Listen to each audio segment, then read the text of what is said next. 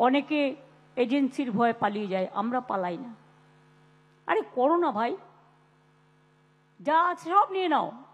কিন্তু দেশটাকে তো বেঁচে দিও না। দেশটাকে রক্ষা করে দাও। দেশটাকে এক রেখে দাও। আর কিচ্ছু চাই না। যত এজেন্সি পারো লাগাও। মনে রাখতে হবে গণতান্ত্রিক রাষ্ট্রে। গণতন্ত্রে একটা সংবিধান আছে।